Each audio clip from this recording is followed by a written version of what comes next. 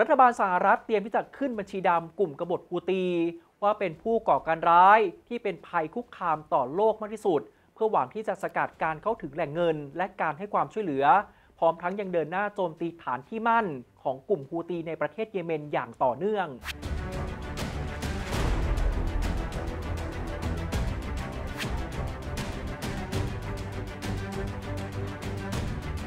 จ้าหน้าที่ระดับสูงของสหรัฐรายหนึ่ง เปิดเผยกับสำนักข่าวรอยเตอร์ ว่าคณะบริหารของประธานาธิบดีโจไบเดน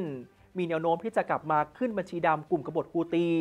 ในฐานะผู้ก่อการร้ายที่เป็นภัยต่อโลกมากที่สุด หลังจากมีการปลดสถานะดังกล่าว เมื่อช่วงปี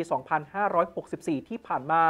ด้านเจคซัลิแวนที่ปรึกษาด้านความมั่นคงแห่งชาติของสหรัฐ กล่าวว่าการขึ้นบัญชีดำฮูตี จะเป็นเครื่องมือสำคัญ ในการสกัดเงินทุน ควบคุมการเข้าถึงตลาดเงิน และทำให้ฮูตีต้องรับผิดชอบ ต่อสิ่งที่พวกตนได้กระทำลงไป โดยเมื่อช่วงสัปดาห์ที่ผ่านมาประธานาธิบดีโจไบเดนได้ออกมาประนามกลุ่มฮูตี ว่าเป็นกลุ่มก่อการร้าย หลังจากที่เครื่องบินรบ เรือรบ และเรือดำน้ำของสหรัฐและอังกฤษ เปิดฉากโจมตีกลุ่มฮูตีทางอากาศหลายสิบครั้งทั่วประเทศเยเมน เพื่อตอบโต้ที่กลุ่มฮูตี ยังคงเดินหน้าโจมตีเรือสินค้าในทะเลแดง ล่าสุดในช่วงเช้าวันนี้ทางสหรัฐนะครับยังคงเดินหน้าโจมตีฐานที่มั่นของกลุ่มฮูตีในประเทศเยเมนอย่างต่อเนื่อง บอกเลยนะครับว่าไม่สนเสียงขู่ของกลุ่มฮูตี ที่ออกมาบอกครับว่าจะขยายเป้าหมายการโจมตี เรือขนส่งสินค้าในทะเลแดง รวมไปถึงเรือขนส่งสินค้าของสหรัฐครับ สถานีโทรทัศน์อัลมาซีร์ของกลุ่มกบฏฮูตี รายงานว่ากองทัพสหรัฐและอังกฤษ เปิดฉากโจมตีฐานที่มั่น ของกลุ่มกบฏฮูตีในเยเมนและรอกใหม่ เมื่อช่วงเช้าตู่ของวันนี้ โดยพุ่งเป้าโจมตีฐานที่มั่นใน 5 จังหวัดทางตอนเหนือของเยเมน รวมถึงจังหวัดโฮเดดา ซึ่งเป็นท่าเรือหลักนอกชายฝั่งทะเลแดง ที่กลุ่มกบฏฮูตียึดครองขณะที่สำนักข่าว AP รายงาน โดยอ้างการเปิดเผยของเจ้าหน้าที่สหรัฐ ว่ากองทัพสหรัฐโจมตีฐานที่มั่นของกลุ่มฮูตี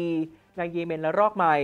โดยมีการยิงขีปนาวุธต่อต้านเรือ และเรือดำน้ำเข้าใส่ฐานที่มั่นหลายแห่ง ที่กลุ่มฮูตียึดครอง ซึ่งการโจมตีครั้งนี้มีขึ้น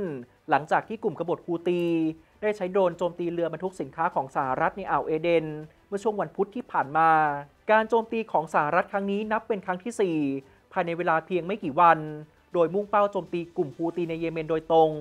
คุณผู้ชมท่านไหนครับที่สนใจครับเรื่องของปัญหาความขัดแย้งทางด้านภูมิรัฐศาสตร์ ก็มาติดตามกันได้ครับในงานสัมมนาใหญ่ของกรุงเทพธุรกิจกำลังจะจัดขึ้นนะครับวันพุธที่ 31 มกราคมนี้ ก็สามารถที่จะสำรองที่นั่งกันได้ก่อนเลยครับเพียงสแกน QR code ที่ปรากฏบนหน้าจอ แล้วก็ฝากกดไลค์กดแชร์ ในทุกช่องทางของกรุงเทพธุรกิจด้วยนะครับทั้ง Facebook YouTube และ TikTok ครับ